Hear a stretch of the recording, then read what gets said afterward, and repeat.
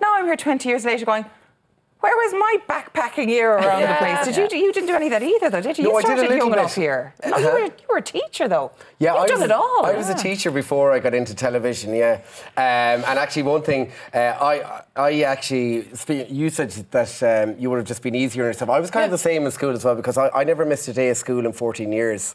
So all through primary school and secondary Healthy. school, I was straight through every day, uh, straight into the books. I wanted to be a dentist. That was my dream.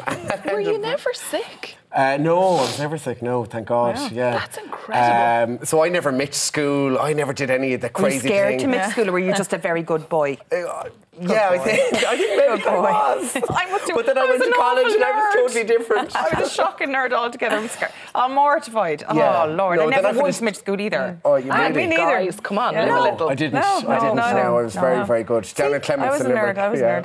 Were you? Yeah.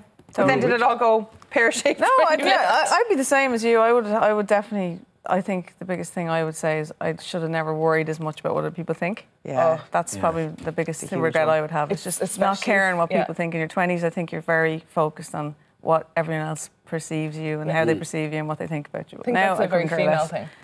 Yeah, I think yeah. girls, we were really, really hard on Definitely. ourselves. I think boys are probably like that now. I think Yeah. men are probably like that now. Yeah. It's very even. I think they probably feel that too. But mm.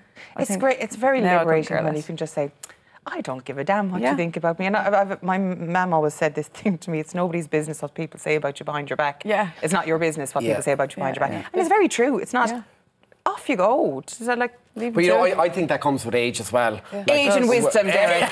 You've known me many, many years now. Am I wise now compared to what I You're used to be? very be? wise. I'm in my 30s. I don't know about you. I'm in my Yeah. mid to late 30s. and to be honest with you now, I'm at a stage in my life where I just don't care what people think of me. I am who I am. This is what what you see is what you get. Uh, I think before growing up, uh, I used to be very self conscious about who I was as a person um, and what people uh, would have thought of me. But now, like, whatever. I wish Yeah. I could say that. I'm still not there yet. Really? Yeah, being Okay. perfectly honest. That's no. very honest. Yeah. Yeah, but I you're only young still. still. Yeah. What age are you now? 32. Are you Okay. 32? Yeah. I thought A few you were more only years. 28. a few more years. only Yeah, yeah, yeah. Once, once you hit 35, we're all 35. downhill. You're in that other age bracket then, you know. But